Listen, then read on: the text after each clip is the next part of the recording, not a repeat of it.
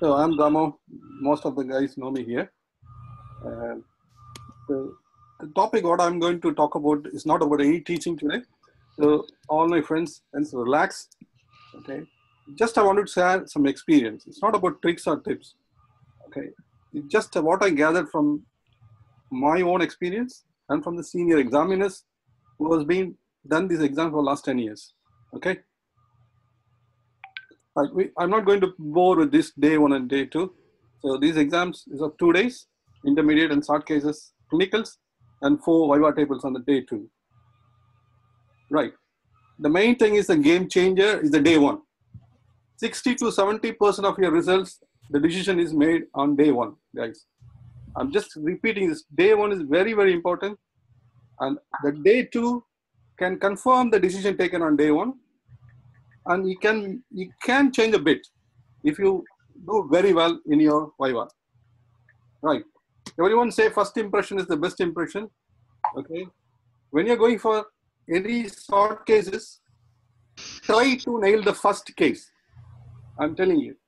Any examiners, if you go inside the first case, if you nail them confidently, once it relax the examiners because they don't have to be skeptical. And you as a confident man, you can sail through that very well.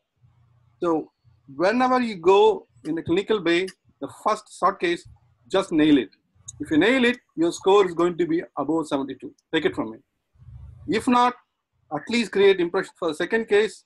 If not, just forget the station, focus on the next one. Right, short, case, short cases. I will rather say it is a spotters. It is only spotters. You have to get the diagnosis as early as possible. Okay, you diagnosis is the key for short cases. So if you mention it first, as soon as you go in, tell the diagnosis, then they, they will go to, you don't have to examine. For example, in my short cases, upper limb, I got rheumatoid hand, I got gouty hand, I didn't examine any hand. Tell the diagnosis, then four minutes you will be discussed, you will be going into literature and you'll score very well. This is, this is especially for short cases. Focus on obvious findings. If there is any subtle findings, please mention it. Don't ignore the subtle findings, but focus on obvious findings, particularly. Try to get the exercise in three minutes. That means you're going to score well. Okay. Treatment plan approach. If you're going to the approach for the short cases, that means you're going to score more than six. Literature, again, literature will, especially for me personally, my exam was saved only by literature every places. Okay, because that compensate wherever you go, wherever one of the station, someone will, some examiners will play with you. To compensate that, please, please take it from me. Literature is all the base of this exam. Some most of the guys will say, "Oh, literature." Nobody asked me the literature. Nobody will ask you the literature. But if you do very well, they will ask you the literature. When to present the literature? That's a lot of questions. Even I had a doubt when to present the literature. Literature is like a desert. You have to do it at the right time after nailing all the basic questions. If you mention it in the first place, then it will backfire you, and then you lose the game. Right. Especially short cases, when the examiner asks you, can you ask a couple of questions? I had this doubt. What questions we have to ask? What questions? These are the questions, basic questions. If any case you have come across, just keep these four questions in your mind. What's your problem? How is it affecting you? What treatment you had so far? And what is your expectations? These are the questions I had in my mind, and that helped for almost all sort cases. Intermediate case is completely different, so you don't have, you have to have a very good detailed history for that. These are the short cases which is within the basics of uh, FRCS curriculum. Okay, shoulder, elbow, hand. I can tell you each and everyone. If you know about, if you have this diagnosis of these cases, at least two of the cases will come for your exam. It is just a snapshot. You can just take this. These are the basic curriculum. Whether the exam is going to be in Sheffield University Hospital or whether it is going to be in District General Hospital, these are the basic curriculum they have to test for the upper limb, particularly for short cases. Remember C-spine, upper limb, always think about C-spine. Short cases for lower limb. These are the short cases. Again, any exam, these will be the short cases. At least two, you will get it. And particularly, I want to focus on the foot examination, pes planus. Don't always commit yourself about T-post dysfunction. The most common cause for the pes planus is talonavicular arthritis. Please make sure you examine the patient and then commit yourself, whether it be post or talonavicular arthritis. Again, for pes cavus, we have the tendency to say CMT all the time, but it could be CMT or it could be other causes such as residual CTE. So unless you examine, don't commit yourself because I know most of the guys who just straight away commit T-post dysfunction and get trapped and find difficult to come out of it. So keep these things in your mind, especially for the short cases, right? And thoracolumbar spine, particularly for the lower limb, always there could be a spine cases, scoliosis, think about it. And then syndromic. These are the seven or eight syndromic cases that they have to test for. That doesn't mean that you have to find the diagnosis, that you have to label the syndrome. They may ask you, if nail patella syndrome, they may ask you to examine the knee. If it is Marfan syndrome, they may ask me to examine the spine. Sprengel shoulder, they can ask you to examine the shoulder. So you don't have to mention the syndrome. Still you can pass, but keep the basics right. Whatever the case, whatever the syndrome, don't get flustered. You just do the basic examination, what the examiner asks you to examine, and then you'll come out easily. Okay, now come to intermediate case. The people who starting with intermediate case, they are very lucky because they have time to breathe. They can go and see the patient and they can ask history. So they are lucky ones. Short cases, you have to start straight away into the game. Especially for intermediate case, read the GP letter which is given to your hand. Most of the time, we don't read it fully because we go in and see the patient, see the examiner, and we start, start straight away to the patient. Tell you the GP letter have a clue about the diagnosis and what the examiner is expecting from you. That is very, very important. So as soon as the letter has been given to you, please read the letter fully. Okay?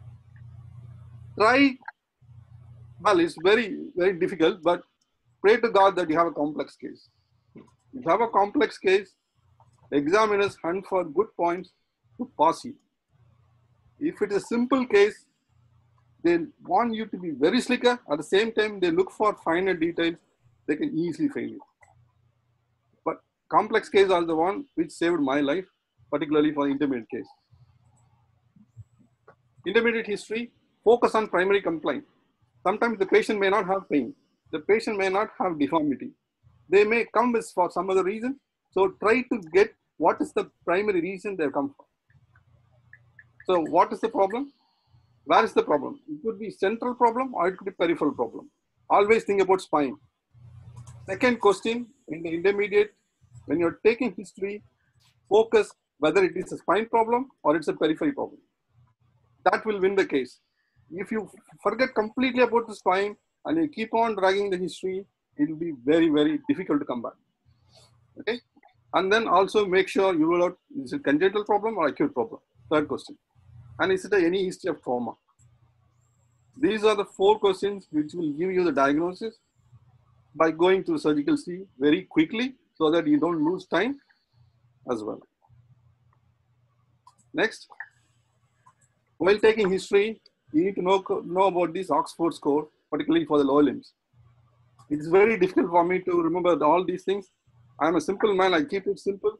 So I ask all these questions by one, one single question. Can you walk upstairs and have a shower, come down, put your shoes, can you go for shopping in your car? That's it. This is for Oxford score, daily activity of living. You keep this one sentence and that finishes the Oxford score. And then when you're asking history, make sure in the first what treatment you had, either it could be operative or non-operative treatment, or the patient could be waiting for surgical. So you need to ask this question. And final question is, what do you want me to do for you? That will answer all the questions for the examiner who is really jumping to trap you. If you ask this question, sometimes the patient will say, I'm, I'm, I'm happy with this, I don't want anything. And that should be the answer as well. and then they can poke on you whether you need surgical treatment, what else you will do. That goes to the discussion. And then the medication. So I keep all this medical. When you ask medical history, ask about medication history. When you ask about medication history, you ask about allergies history. Particularly for orthopedics, you ask for steroid history and anticoagulants as well. Okay, particularly mention them. Are you taking steroids? Are you taking warfarin? Ask them particularly. Okay, and then for smoking, as you know, social history you ask for.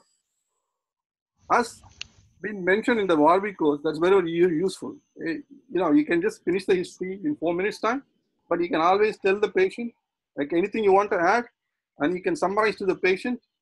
At least you have a chance that if you want to add anything, the patient will tell back to you, oh, I'm, you missed this history. Okay, then you can add it to the, and then you can present to the examiner. If you missed any important key history, for example, if you missed warfarin history, that's it. You won't pass that station then he will be skeptical throughout for the clinical exam bit as well. So keep the history. If we keep the history very tight and clean, you will pass the exam. Next.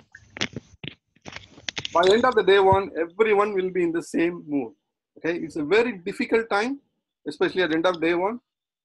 We never know what is whether we have done wrong or right, but this will be the status for almost all 70 to 90 percent of the candidates.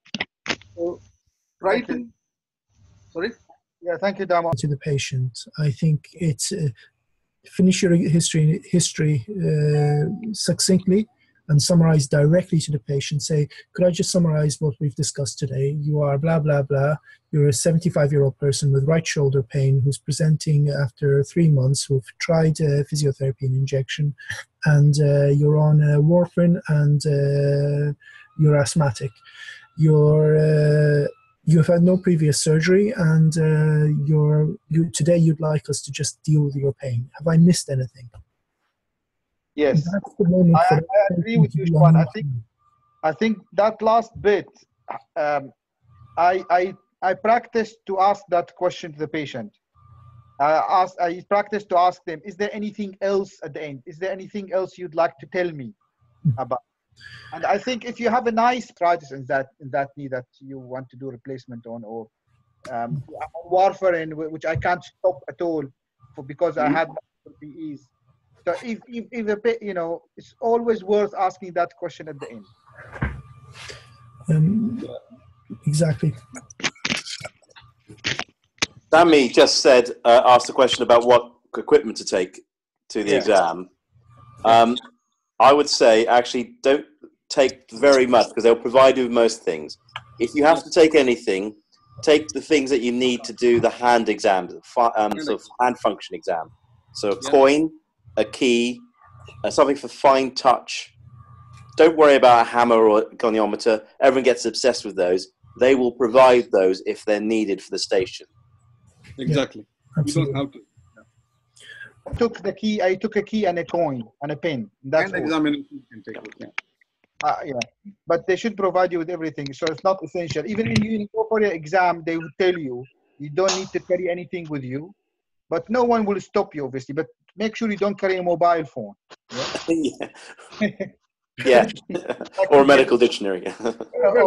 rather, I have mobile. The bell